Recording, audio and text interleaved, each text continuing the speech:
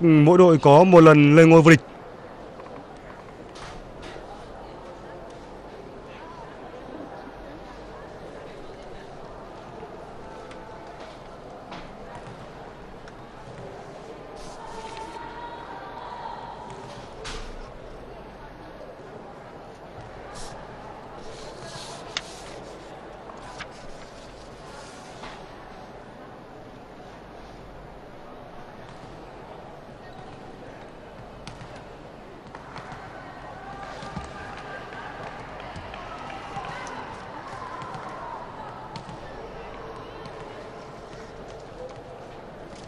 Ở trong set đấu thứ hai thì Đài Loan, Trung Quốc ừ, giành quyền phát bóng trước và họ chơi ở phần sân bên tay trái mà nhỏ của các bạn.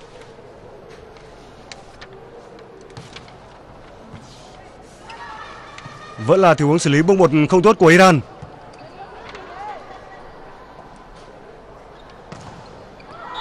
Chắn bóng thành công.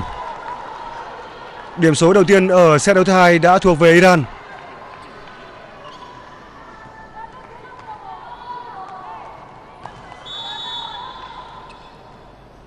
Sam Nam là người sẽ thực hiện quả phá bóng. Vẫn còn.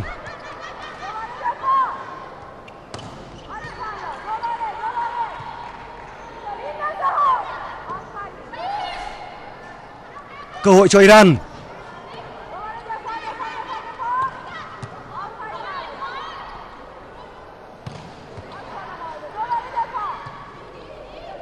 Tình huống khá giằng co.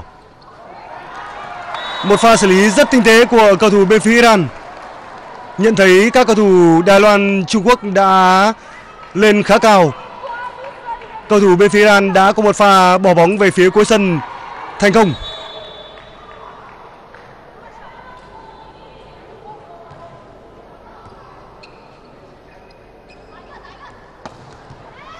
Đập bóng rất mạnh.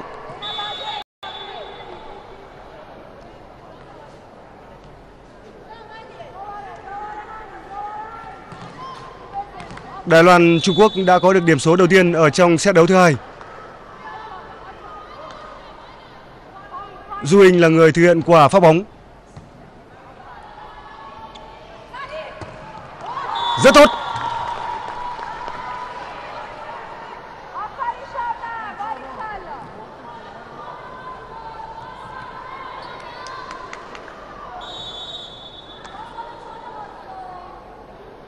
Massa là người thực hiện quả phong này.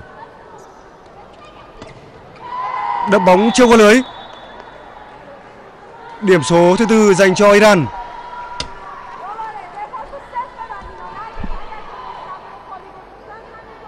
Iran đang có khởi đầu thuận lợi ở trong set đấu thứ hai. Lại là quả phát bóng của Massa.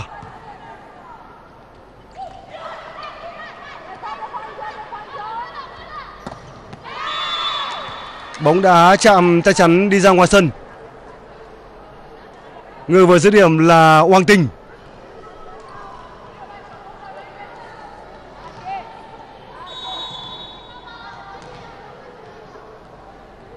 Sau giờ nghỉ giữa hai set đấu, thì dường như Iran đã rút ra được khá nhiều bài học kinh nghiệm.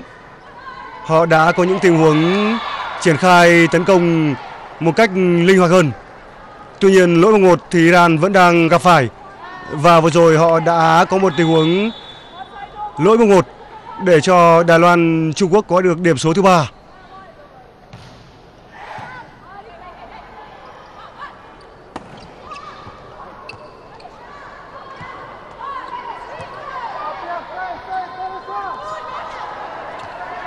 Vẫn còn một pha vỗ bóng đơn giản của Đài Loan, Trung Quốc. Tuy nhiên, hàng thủ bên phía Iran đã chơi thiếu tập trung và chọn vị trí không tốt ở trong tình huống mất điểm vừa rồi. Bây giờ điểm số đã được cân bằng 4 đều.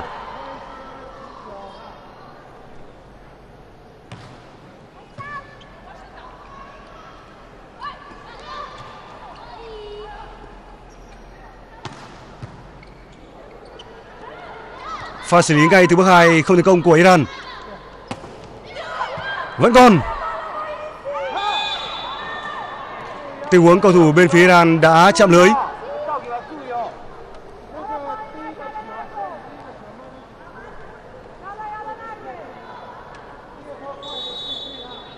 lần đầu tiên ở set đấu này, Đài Loan Trung Quốc đã vươn lên dẫn điểm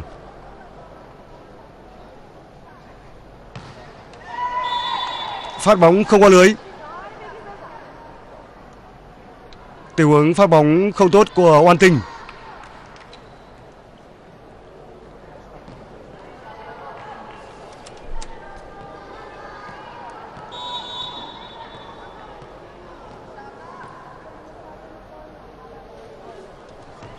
Đây là lần thứ 6 mà Việt Nam được vinh dự đăng cai các giải đấu của châu Á.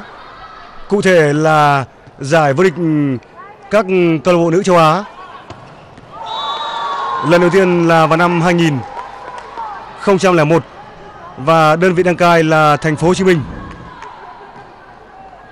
Lần thứ hai đó là vào năm 2005 khi Ninh Bình đã đăng cai giải đấu. Sau đó thì Vĩnh Phúc có 2 năm liên tiếp đăng cai giải của năm 2007 và 2008. Tiếp đó đến năm 2011 thì Vĩnh Phúc ừ, tiếp tục ừ, được Liên đoàn bóng chuyền châu Á giao nhiệm vụ đăng cai giải vô địch bóng chuyền châu Á các ừ, câu lạc bộ.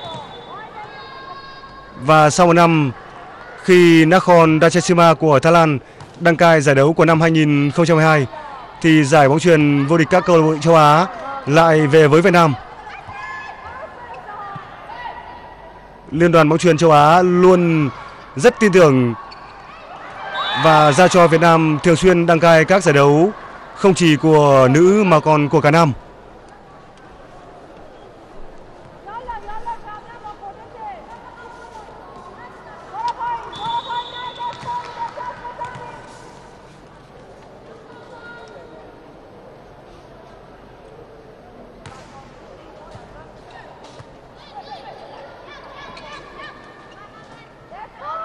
Cơ hội cho Đài Loan.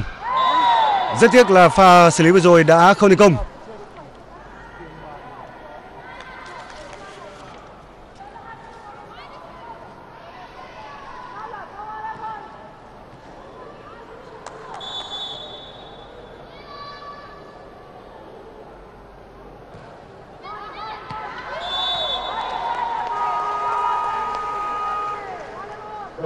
Phải xác định bóng đã đi ra ngoài sân ở trong tình huống vừa rồi.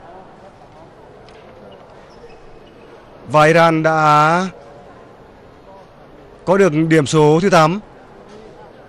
Hai đội rời sân để hội kỹ thuật lần thứ nhất của set đấu thứ hai. So với set đấu đầu tiên thì ở trong set đấu này, Iran đã chơi tốt hơn rất nhiều. Mặc dù họ vẫn để lỗi một số tình huống bắt buộc một.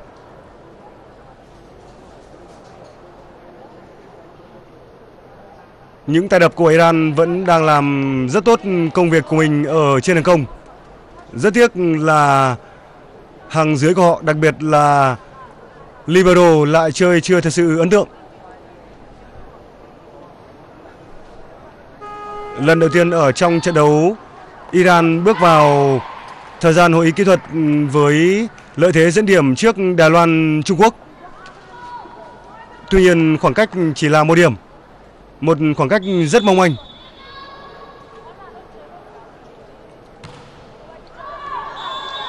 Quả phát bóng hơi mạnh của Meret khi bóng đã đi ra ngoài sân. Điểm số được cân bằng 8 đều.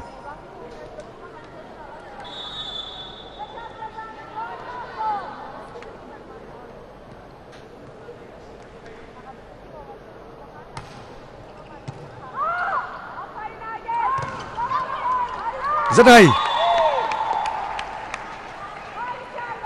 Hiếm khi nào chúng ta thấy các cầu thủ Iran thực hiện những pha phối hợp nhuần nhuyễn ở vị trí số 2 như vừa rồi. Và họ đã có được điểm số thứ 9.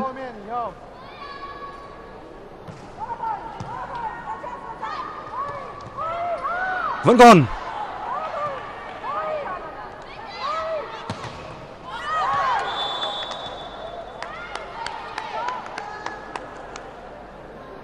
Các cô gái Iran cho rằng ở trong tình huống kết thúc vừa rồi của cầu thủ bên phía Đài Loan Trung Quốc, bóng đã đi chưa qua lưới. Tuy nhiên quyết định của trọng tài đã được đưa ra. Điểm số thuộc về Đài Loan Trung Quốc.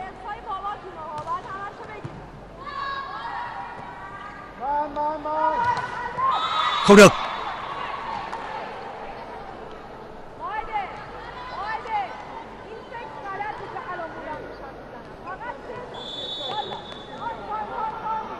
Đài Loan, Trung Quốc lại vươn lên dẫn điểm.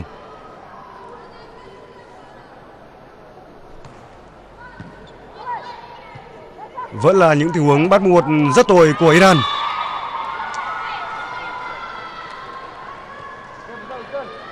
Điểm số là 12-9. Xin lỗi các bạn 11-9. Vẫn là pha phát bóng của Hoa Linh.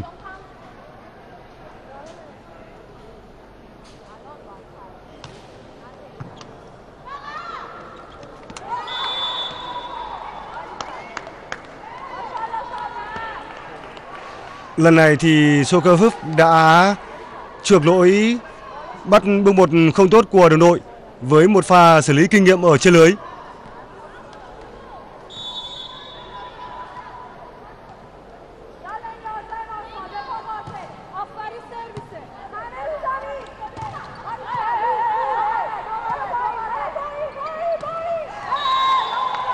Đập bóng không qua lưới. Điểm số được cân bằng 11 đều.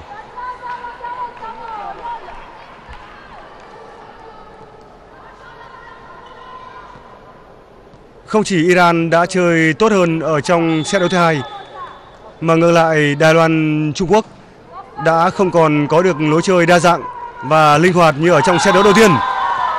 Chắn bóng rất tốt. Điểm số thứ hai cho Iran. Vừa rồi là tình huống chắn bóng của Sakufe.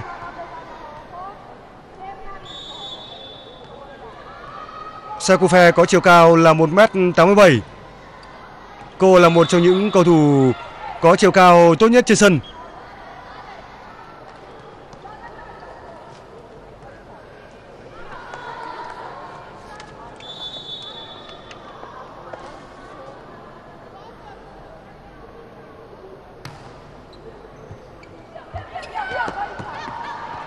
Vẫn là những pha bắt một ừ, rất lỗi của Iran. Ở trong tình huống vừa rồi thì trọng tài xác định bóng đã đi ra ngoài so với cọc ừ, anten và điểm số thuộc về Đài Loan, Trung Quốc.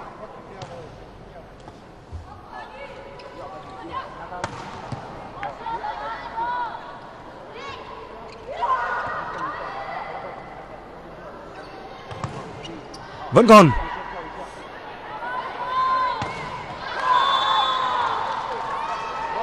Bóng đã chạm tay chắn của Đài Loan, Trung Quốc đi ra ngoài sân. Điểm số được cân bằng 13 đều.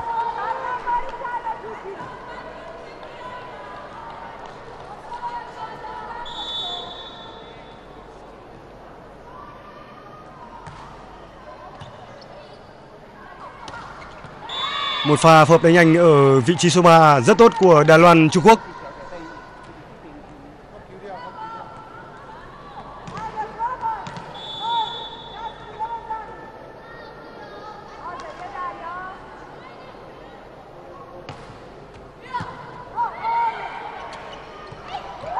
Rất hay.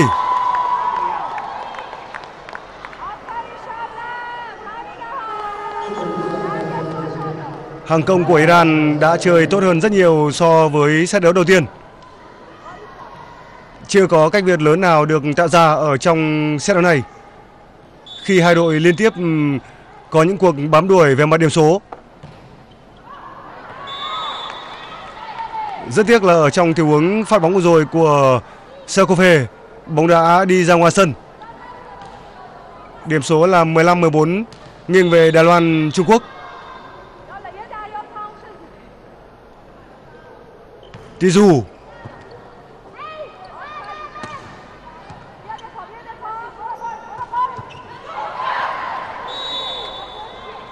mười sáu mười bốn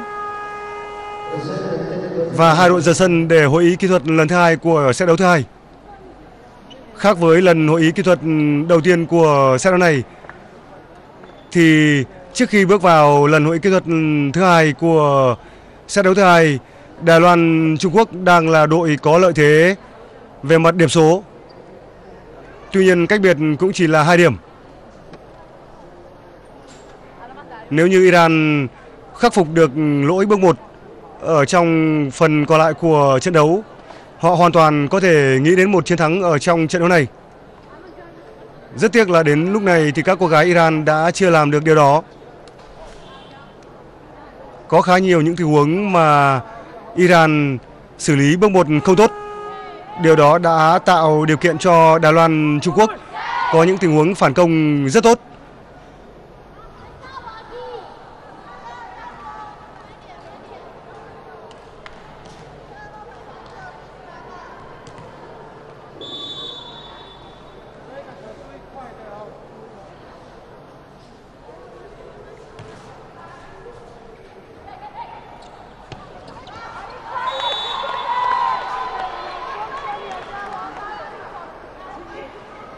Ngay sau khi bước vào sau thời gian hội ý, Iran đã có được điểm số thứ 15.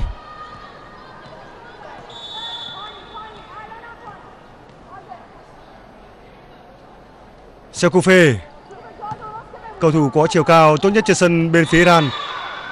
Khi cô cao 1m87.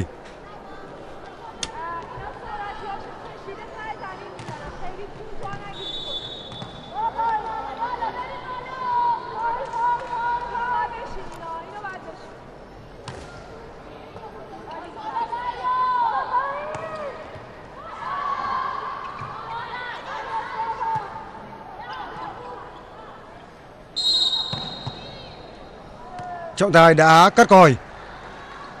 Đã có lỗi dính bóng của chuyên hai bên phía Iran sau khi cô thực hiện pha chuyền bóng sau đầu.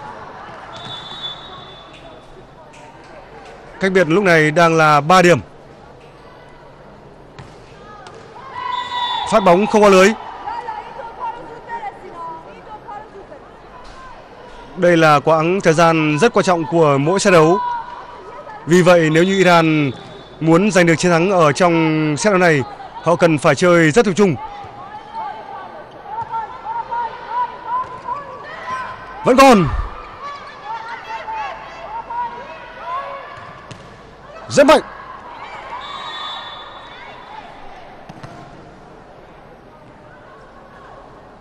Những quả đập của các chủ công bên phía Đài Loan, Trung Quốc luôn có sức nặng rất lớn.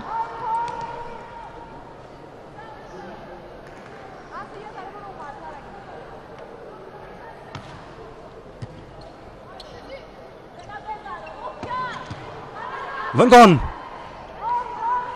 Tình huống thủ bóng rất tốt của Đài Loan, Trung Quốc. Lần này thì bóng đã chạm chắc chắn và đi ra ngoài sân. Điểm số được rút ngắn xuống còn 17-19 những nỗ lực hết sức đáng khen của Iran ở trong set đấu thứ hai.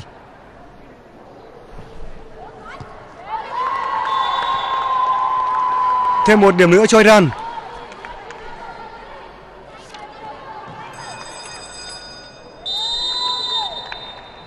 Ngay sau khi để cho đối thủ rút ngắn cách biệt xuống còn một điểm, thì Đài Loan, Trung Quốc đã phải xin tạm dừng trận đấu để hội ý.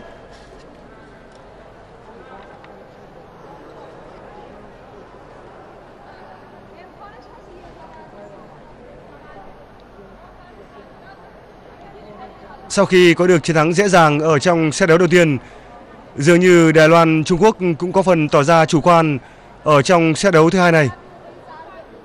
Khi họ không còn quá nhiều những tình huống phối hợp đa dạng và nhuần nhuyễn như ở trong set đấu đầu tiên.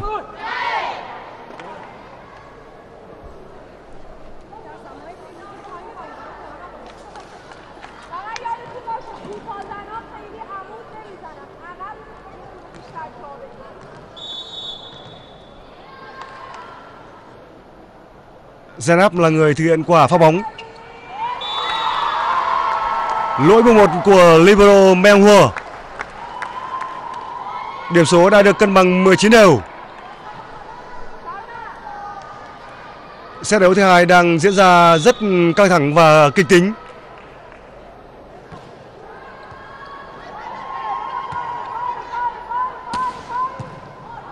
Đây là cơ hội cho Iran.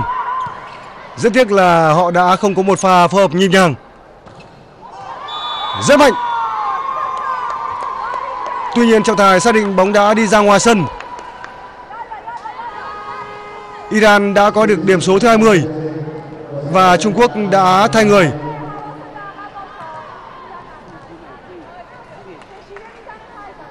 Xin tinh bên phía Đài Loan Trung Quốc đã được cho ra nghỉ.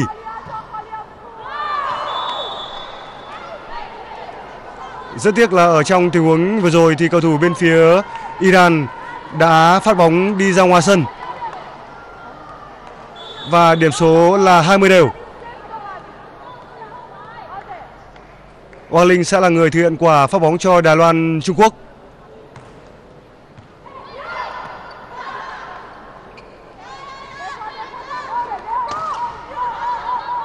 Vẫn còn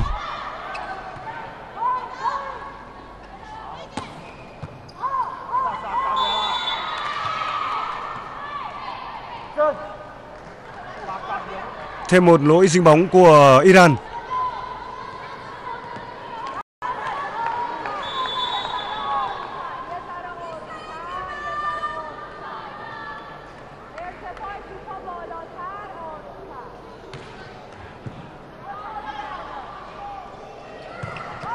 Rất hay.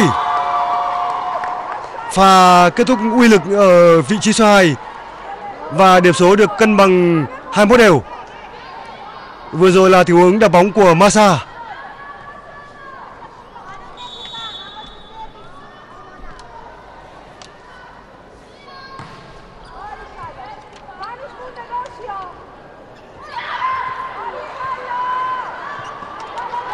Những tình huống cứu bóng rất tốt của Iran. Tuy nhiên lần này thì họ đã không có cơ hội. Người vừa tung ra cú đá bóng rất mạnh đó là Tisu.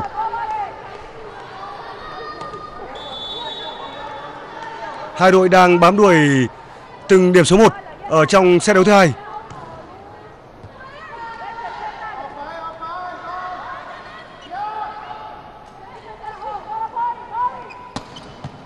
Vẫn còn một pha xử lý không tốt của Iran và họ đã bị trả giá sau khi Yuzu đã mang về điểm số thứ 23 cho Đài Loan, Trung Quốc.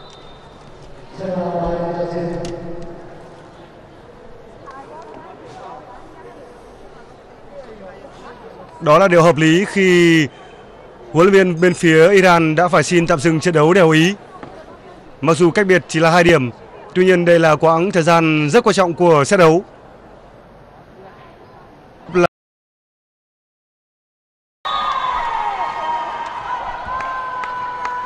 Rất may cho đội bóng áo đỏ là ở trong tình huống vừa rồi họ đã có được điểm số thứ 22 sau tình huống chắn bóng không tốt của Đài Loan, Trung Quốc.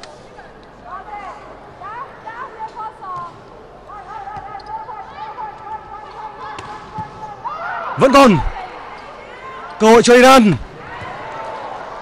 Tuy nhiên hàng thủ của Đài Loan cũng chơi rất hay. Lần này thì điểm số đã thuộc về Đài Loan, Trung Quốc. Họ đã có được điểm số thứ 24. Lần thứ hai ở trong set đấu này Iran phải xin tạm dừng trận đấu đều ý.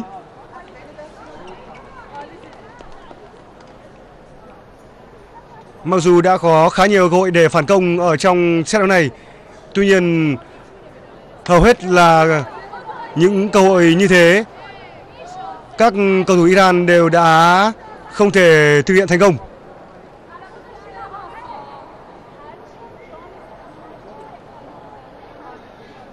Chúng ta cùng xem lại tình huống mang về điểm số thứ 24 cho Đài Loan, Trung Quốc.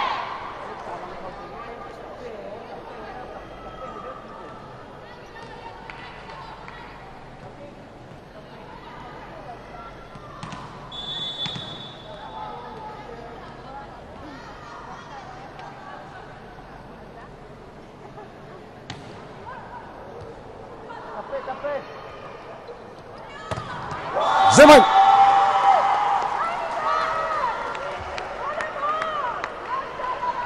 Pha đập bóng như bồ của Sanamet